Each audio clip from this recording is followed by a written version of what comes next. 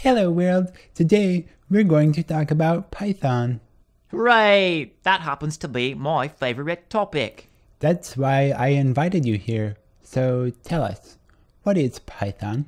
It's me, silly. I'm a Python. I know you're a Python, but what about the programming language? Language? Why, that happens to be my second favorite topic. I love talking. As you may have noticed, I'm clear and expressive. I did notice, but we're getting off topic. What I really want to talk about is. Me, I know. I'm very flexible.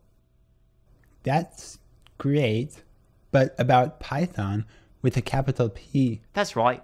Genus Python reticulatus. Oh, it's smarter. Why, yes, I am. As you can see, I have a large and comprehensive standard library. You certainly are well read. Yes, I place an emphasis on readability. What else do you do? Lots of things. I'm general purpose like that. I can apply myself to a variety of domains. And did I mention my strong introspection capabilities? I believe that the unexamined object is not worth instantiating.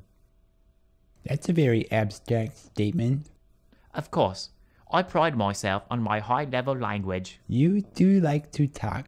I naturally express myself. That's about all I can take for one day. What? We're done? But I didn't show you my objects, and weren't we going to talk about Python?